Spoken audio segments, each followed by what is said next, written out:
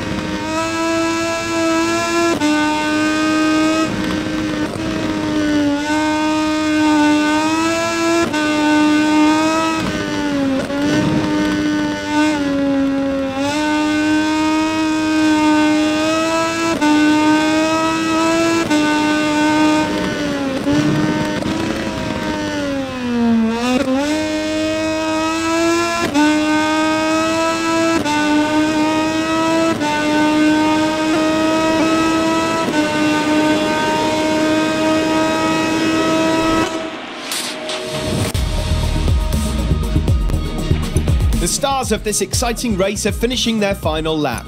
Let's take advantage of these moments to take a look at the Moto 2 final ranking.